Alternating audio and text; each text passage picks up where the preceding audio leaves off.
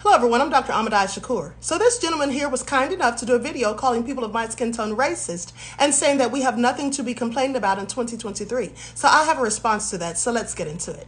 Those live videos of some uh, very racist uh, black people, you could call them black supremacists. They uh, they don't want anything to do with white people. They want to be completely separated from white people. They want to build their own cities. They don't want anything to do with white people or anyone not black, actually.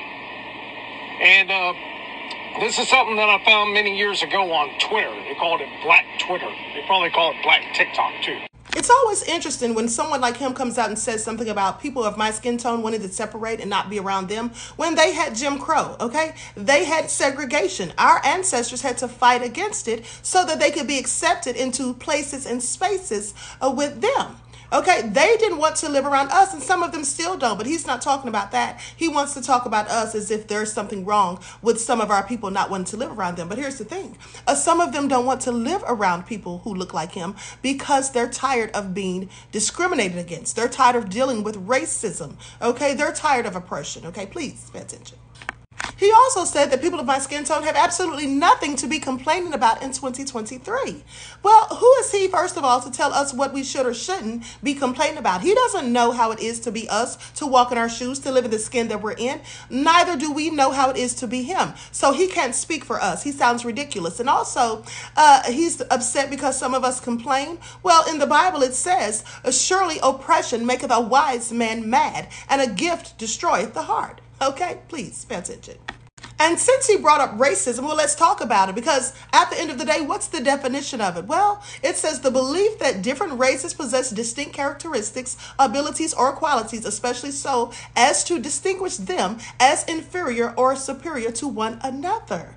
Okay, so I'm sorry, we are not able to be racist because we don't think that we're superior to anyone. You see, our ancestors and us still today are fighting for equality. So, how could the people who are fighting for equality be the same people who feel superior to anyone else? I'm sorry, that makes no sense. And furthermore, when he's saying that we have nothing to complain about in 2023, well, here's a sign from Jim Crow. It says, We want white tenants in our white community. But this is a story from 2023, okay? The same thing, okay? A woman of my skin tone suing her landlord after he tried to evict her and allegedly said he'd rather put a white family in this unit. I'm sorry. We've nothing to complain about. Please sit down somewhere, sir. You don't know what you're talking about. It's really sad. Also said that my people complain about being deleted by the police while unarmed, but that more of his people, in fact, are deleted by the police unarmed. Well, that's not true. You see, more of his people are absolutely deleted by the police, but it's not while they're unarmed. They're usually carrying a weapon and they engage the police in a violent manner. They're trying to fight them, trying to harm them, and things of that nature. At the end of the day, also, there's 76% of the population, whilst we're 13 13, so they say. I actually believe we're more, but nonetheless, they're the majority. There's much more of them. So, yes, more of them would lose their lives to the police. But like I said, it's usually warranted because they have weapons and they're usually doing something. They're not just innocently at a traffic stop complaining and then they get deleted. Okay, that's not what happens. This is absolutely nefarious. Uh, this isn't good for the country. It's not good for Americans.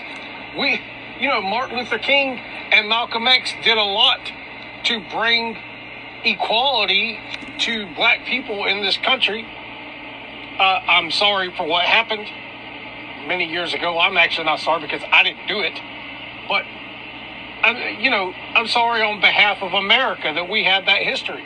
But uh, get over it. Now, in the one breath, he says he's sorry for America's history, and then he tells us in the next breath to get over it. Well, he would never tell these people in the picture to get over it, and nor should they. They should always remember the atrocities that were perpetuated upon their people, and as should we. Because you see, if you don't learn from your history and if you forget your history, you may likely be doomed to repeat it. Please pay attention. He also brought up Dr. King and Malcolm X saying that they fought for equality for our people. Well, our people have never gotten that equality. Okay, we still don't have equality till this day. That's why racism still exists. Okay.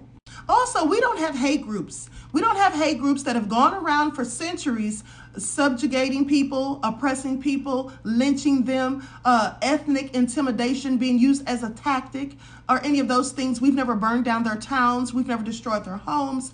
We've never done many of the things. We didn't cause race riots and any of those things. And so it's very interesting that he's complaining about us and anything that we say or do.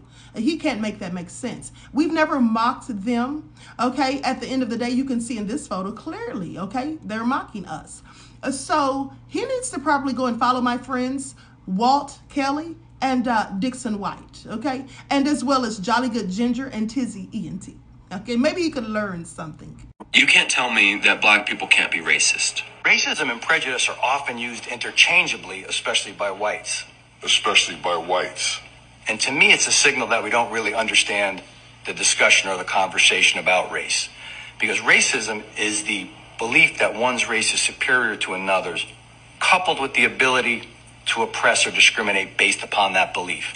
For example, a black person may be prejudiced against me as a white person, but that prejudice may be based upon past experiences, but often that prejudice would not have a component of superiority.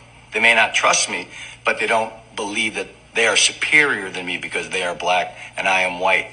So in America, given our history and our makeup right now, it makes sense only to talk about whites being racist.